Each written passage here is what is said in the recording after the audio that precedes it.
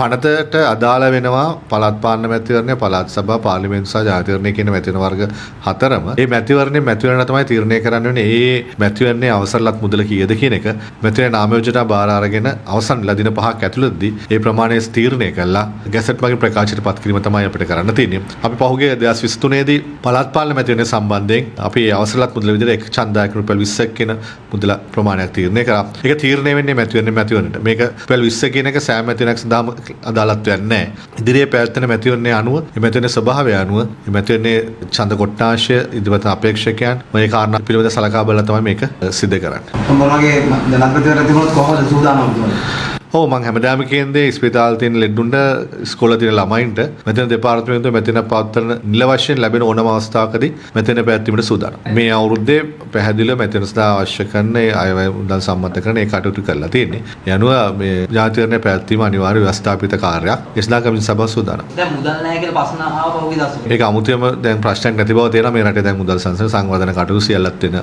තත්වයක් තුල මම හිතන්නේ මුදල කියන එක ගැටලුවක් වෙන එකක් නෑ ඉදිරියට. ඕනම ජාතිවරණයක් පැවැත්වෙන වර්ෂ 5කට සැරයක්. ඒ අනුව 2019 නොවැම්බර් මාසේ 18 වෙනිදා තමයි ජාතිවරණය පැවැත්වුවේ. ඒතර ඊළඟ ගහම ගත්තොත් ඊට පස්සේ අවුරුදු 5ක් කියන්නේ 2020 නොවැම්බර් 18 ඊට මාසයකට කලින් කියන්නේ ඔක්තෝබර් 18 සහ මාස දෙකකට අතර කාලය තුලදී ජාතිවරණය පැවැත්විය යුතුයි. ඒ අනුව සැප්තැම්බර් 18 සහ ඔක්තෝබර් 18 අතර දිනයකදී ජාතිවරණයේ දිනය තීරණය වෙයි.